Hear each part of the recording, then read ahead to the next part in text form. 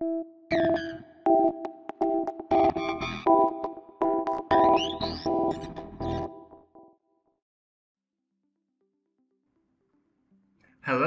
and welcome to my channel, Hardware AI. This is the first video of Know How series, which will feature short videos explaining a function or a method of doing a particular thing. You can find more explanation about this new video series in my recent post, link in the video description. Today, I'll be explaining how to set U-boot for Raspberry Pi Ubuntu to auto boot and silent boot. Why do you need to use Ubuntu at all instead of Raspbian? Great question. I'm glad you asked. First of all, unlike with Raspbian, there are pre-built packages available to install ROS Melodic for Ubuntu 18.04. It makes initial installation process much faster, and then when you need to install additional packages, it greatly simplifies that too, because the packages and their dependencies can be installed with simple one-line commands. The second reason to use Ubuntu on Raspberry Pi is that it has 64-bit version, which has better performance for TensorFlow Lite inference. Have a look at this repository for examples and precompiled binaries.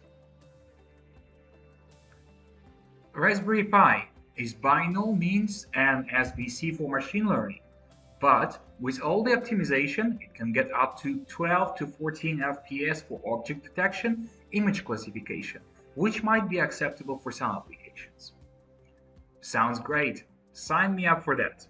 Well, the downside here is that Ubuntu for Raspberry Pi has less community support and it can be sometimes hard to find information if you encounter problems. One of the problems is that if you have UART device connected and communicating messages to Pi during boot, the Raspberry Pi will not boot. The reason for that is that Ubuntu 18.04 uses U-Boot, an open source primary bootloader used in embedded devices to package the instructions to boot the device's operating system kernel. During boot sequence, it listens to messages coming on UART, and if there are any, the normal boot process gets interrupted. Pretty much the same way you can interrupt your PC boot by pressing delete key to enter BIOS. While it is useful for people who want to debug their bootloader and tinker with it, most of the people are happy with normal boot process and do not want it to be interrupted by peripheral device messages.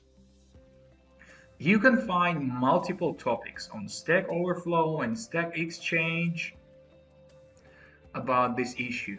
Some people advise to get rid of U-boot completely and boot straight to Linux kernel. This approach didn't work for me at all. The system wouldn't boot. Another approach is to connect to Pi with USB serial converter and access U-boot console, then change environmental variables from there.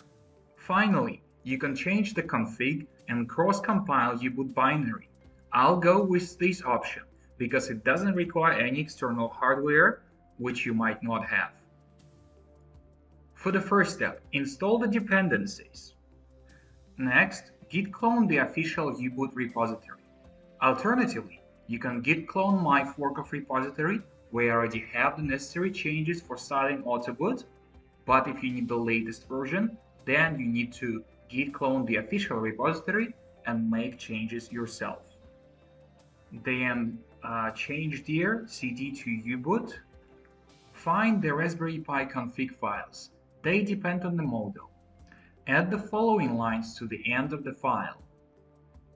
Here, the first line removes the boot delay, so Autoboot will not be interrupted by messages sent on UART interface. Next four lines enable silent boot, so U-boot will not send any messages on UART itself, because the messages might in turn confuse your device. One more little thing left. Set silent boot environmental variable. Change include configs rpi.h file. Great, now configure with make rpi3 defconfig And finally, build with, with this command. When the build process finishes, there will be a file called uboot.bin. You'll need to rename it to a corresponding name. Uh, in this case, U-boot underscore rpi underscore 3 dot bin and then copy it to SD card uh, with your Ubuntu 18.04 for Raspberry Pi already flashed. Let's paste it and replace the file in destination. Alright, let's eject the SD card. Voila! Now your Raspberry Pi will not be disturbed by any messages on UART during boot. The UART functionality after boot will not be affected. Remember, you still need to set up UART on Ubuntu to use it. That can be done in three simple steps. Add, add enable UART equals 1 to boot config txt. Remove this line from boot firmware command line dot text and disable the serial console with the following comment. Best of luck and have fun building robots. Until the next time.